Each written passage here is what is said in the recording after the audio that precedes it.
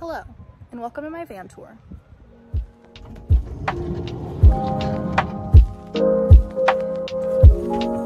Guess who's back?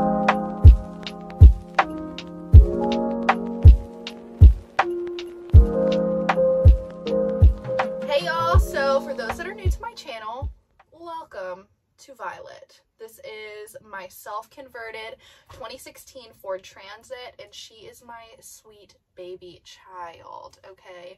I converted her in about a month with the help of my dad, but mainly on my own. And I had no experience building anything at all other than like the third grade Girl Scout troop miniature construction moment other than that, this was completely new to me and I did it in a month. So if you're thinking about doing van life, you're a solo female wanting to travel, just know that you can do it. It's tough. You're going to go through the ringer, but you can build something like this. So it's a pretty basic build, but it works perfect for me and I can't wait to show y'all around my sweet home. That is perfect. I hope you know that's going to go in the video. Story of Violet is I was searching to buy a van in like August to September. I ended up purchasing this van right around my birthday, around like August 28th. I found it on Facebook Marketplace and I would highly recommend searching there, but make sure that you take any used vehicle that you're looking to buy to a mechanic. And then September to like beginning of October, I was doing my van conversion. I had to stop for some family matters for a couple weeks, so I didn't actually end up leaving until the end of October. And I've been living in this van since like October 28th, which is wild. Granted that it's now like January 10th, I don't even know. Well, I thought we could start up here in the front. As you can tell, I have a nice little swivel seat. So this gives me a lot of room to kick my feet up and enjoy. I actually didn't install this. The previous owner of the van did. And all they did was the swivel seat and some of the installation. So it was the perfect buy for me. Thank you, Facebook Marketplace. And then other than that, I just have some really basic things up here in the shelf, like hoodies, PJ pants, vitamins that I take every day, and then that's about it. Um, so this is like my pretty basic area. As you can tell up here, I have some fake flowers that I bought at Michael's that I just stuck into the side. It's like built out of foam where the airbag is. So I just stuck them in there. Don't come for me in the comments about how that might mess up the airbag because that was an afterthought, clearly. But yeah, so this is super basic. I love the swivel seat. I definitely recommend if you're building one out. This is literally just a curtain rod that I got at Target with a blackout curtain. And I don't know if y'all can see, but there are command hooks attached to my wall that just hang this up. So every night I just pull it closed. It has a magnet that it sticks to on this side and this side, and you can't see any light from out, which is perfect. And these are those flowers that I was talking about. For my ceiling, I love the ceiling. It's actually, I don't know what it's called, but it's those long sheets of really thin like cardboardish almost cardboard like wood material that you get at um, Lowe's. I'm gonna insert it right here because I have no idea what it's called right now. I'm blanking. But the really cool thing is that they actually are like almost whiteboard material. So you can write dry erase marker on them. When I have friends in here we play like tic-tac-toe and hangman up there. I didn't have any space to do ceiling installation. As you can tell I'm very tall. I'm 5'8 and my head just hits the ceiling, but it's enough for me to stand up. So it's perfect for me. But if you're taller, you might want to consider a high roof instead of a medium roof like I have. As you can tell, this is my kitchen. I'll show you the bottom in a couple minutes, but I just have this tiny little bar sink that I got at Lowe's. It's about this big going back and it's a lot bigger than like those mixing bowl sinks that a lot of people have in here definitely recommend this. Underneath I just have a foot pump system with a gray and um, clear water tank. Up here is one of my cabinets and I just store a lot of little like, I don't know, what's the word, canned food, pasta, all that jazz. Clearly I need to go grocery shopping so just like disregard that. I actually bought these cabinets at Lowe's already made and just installed them into the wall of my van, which I definitely recommend if you're on a quick build timeline it was so much easier than having to build all these cabinets out. But the hard thing was they don't angle on the back like a van does. So you have to build out bracing in the back. But other than that, it made it super easy. under here, I just have some push lights. I love these because they actually turn fun colors and they make me feel very Gen Z in the van. So yeah. And then I have some random like condiment type of things, spice rack, all that jazz right here. Some of my um, cooking things, whatever the word for those are. And then that's about it. Okay team, getting low for this part. Um, this is the bottom half of my kitchen. I have three drawers right here and this is like an open cabinet. I'll show you a close up in a second. I bought this entire set at Lowe's. LOL did not make this. I did install the hardware and obviously I installed it into the van, but it's two sets of drawers. So there's drawers right here and then this is actually a sink piece for a cabinet set that I just got for pretty cheap at Lowe's and installed into the van. Again, the hardest thing about this installation is that the back is straight on these cabinets, whereas the van frame is curved, so you have to adjust it with some wooden bracing. But it made my build so much easier than having to make all of these. So if you're in a time crunch and you have a little bit of extra cash to spare, I definitely recommend doing this. And it wasn't much more than if I were to buy all the parts and create this myself. This part I don't love, but obviously these jostle around a lot while I'm driving. And you can tell I have baby locks installed on all of these, but when you pull hard enough, it breaks off. So I need to reinstall these baby locks, but they are just like a magnet system. So you put the magnet up against the drawer and they pull out. They're really fairly well sized. I'll show you close-ups about what's in the drawers in a minute, but it's perfect for me. This is what the inside of my drawers look like. I have utensils, can openers, scissors in the top drawer, bowls, plates, oven mitts in the second drawer, and the bottom drawer houses a lot of my Tupperware, kettle, and a pot that is not pictured. Alright, so I know I already talked about things that are above up here with my sink, spice racks, cabinet, all that jazz in my kitchen setup, but this is what it looks like underneath. I have um, gray and clean water tanks usually under here. Um, I just have a foot pump for my sink, easy enough, you know. And then I have my Dometic mini fridge right here. It actually also has a freezer compartment, which makes it really nice, but it does take up a lot of power, so I end up not really using it all that often. But it fits in that little Lowe's sink cabinet area, which is really great for my setup. I don't really know what else to say about that, so I think that's good. Alright, so my favorite thing about my van, like 100% best purchase, was this doormat.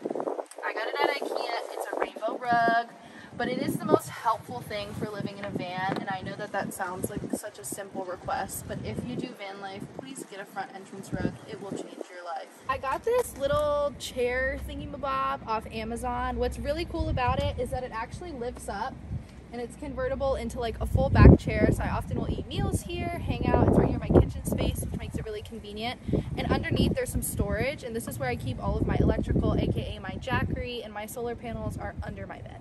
So like I said, got this off Amazon. The great thing is the top comes off and I usually just set it somewhere and this is where I keep things like my long extension cord and my electric setup which is literally just a Jackery 1000 it works for me.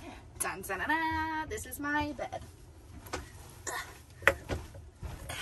It is a platform bed that I made using Ikea parts actually. So I just got the bed slats from Ikea that are underneath the mattress and then the steel beams and installed them to the wall using some Ikea parts, but I don't have a bed frame under here at all. It's kind of just hanging off the framing of the walls here.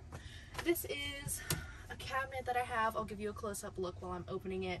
There's some random stuff in here, books. All of my A Court of Thorn and Roses books are in here to give me mental sanity on the road. All my chargers, electronics, jewelry, letters, random things like that that I just like to have. Other than that, I have my ukulele. It just sits on my bed because there's not really another place for it. Uh, this is a full-size mattress everyone always is like, Eden, how do you sleep in here? How do you sleep? Because you're so tall. Well, people of America, I fit across this bed. I do. I do. So trust me when I say that. I will, I will show you. I know, dirty shoes, it's fine. They're like hanging off the side. But look at that. I fit perfectly. Another thing about my van that you can clearly see right above my head is this is where I have my Maxxair fan. it has been perfect for me. I've actually not been in hot weather much in the van. It's been pretty cold where I've been over the last couple of weeks, but this has been amazing. It hooks up to this remote that I have on my wall right here, and then I just plug it into my Jackery. I don't know if you can see this right here, but I have this like heart-shaped bulletin board that I put pictures on of my family and friends when I get lonely on the road. And so I sleep with my head here and I go to bed looking at the beauties on this bulletin board, which is so nice for me. Um, other than that, I have this little like mirror with a couple hooks on it. I keep my keys on it when I'm hanging out in the van or every night, so my keys are right next to my head in case I need to make a quick escape. And I have this beautiful little crystal sun catcher thing. Thank you, Amy, who gave this to me years ago, my queen. You're probably wondering what these are.